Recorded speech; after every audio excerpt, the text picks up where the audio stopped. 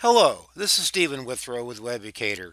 In this video I'm going to show you a solution Per Minborg came up with for do not let your Java objects escape. Per agreed to let us create this video showing his solution which is available as an article here on his blog at the URL shown here. Escape analysis has been available with the Java compiler for some time and in the later updates of Java 6 it became the default. Escape analysis allows the compiler to place objects on the stack as opposed to creating objects in heap memory. Escape analysis is a technique employed by the compiler to save memory resources by placing objects on the stack when possible as opposed to in heap memory.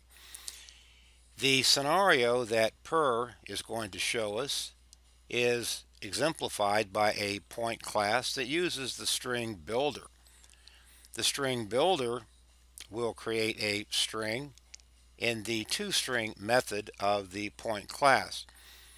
We might think that the string builder will be created millions of times if we invoke the method millions of times.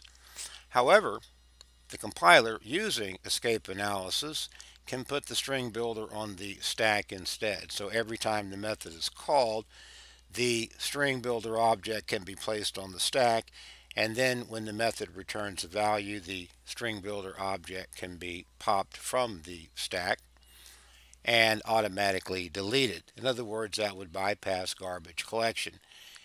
That will improve the efficiency of the program execution. An object's escape state has one of three distinct values. Global escape, in which the object does have to be placed on the heap. There is also arg escape, in which the object is passed as an argument, but cannot be observed by the outside world or any other thread. And then there is no escape, in which the object cannot escape the method or the thread at all. The no escape objects can be allocated from the stack and bypass heap memory. This is important because no escape objects can be allocated on the stack or even in CPU registers, again bypassing the heap and improving the execution times of the program. The heap allocation can potentially drain memory and CPU uh, cache resources. Per gives us a sample Java application that is going to illustrate the benefit of using escape analysis. By setting appropriate JVM parameters when we run the program, we can observe the impact on the heap memory and the other Java resources, and we can discover the benefit of using escape analysis. I have reproduced Per's code here on my computer.